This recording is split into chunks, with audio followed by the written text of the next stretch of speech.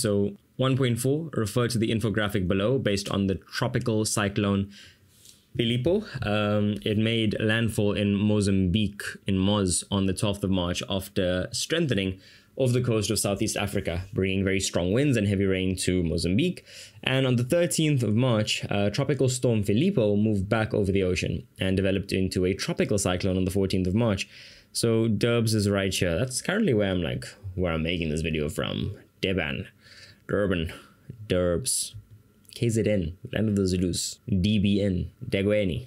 Okay, look, th- those are all the names I know for Durban. So it moved back over the ocean uh, and developed into a tropic cyclone on the 14th of March in and around here, right?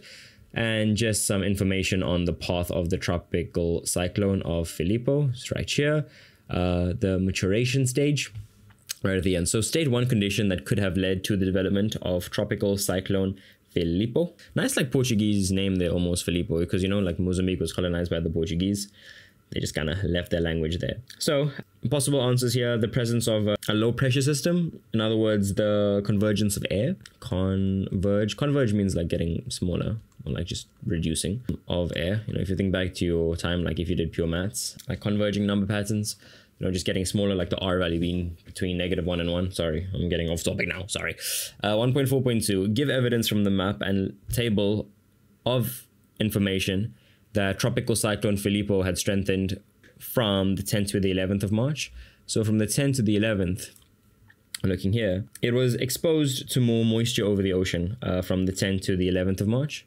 So here to here, if you battle to see that, um, I think the most obvious answer rather was the wind speed increase from 63 all the way to 93, which is crazy. Like 93 k's an hour is really, really hectic.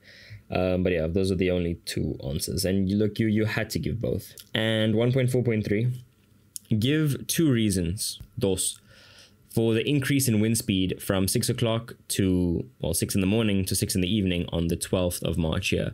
So this versus the major decrease here from 95 to 74. There was a decrease here, and perhaps it uh, it moved over the land. So if it moves over land, there's just less moisture. So you can just check there, like land, it's less moisture, and over like the ocean or wetlands, lakes, whatever, any kind of major water body or like coastal kind of place, there's just going to be more moisture. So land is less moisture. Um, perhaps more friction, uh, less latent heat starting to dissipate as well. These are all possible answers. But yeah, nice, uh, nice little question question here of uh, tropical cyclone Filipo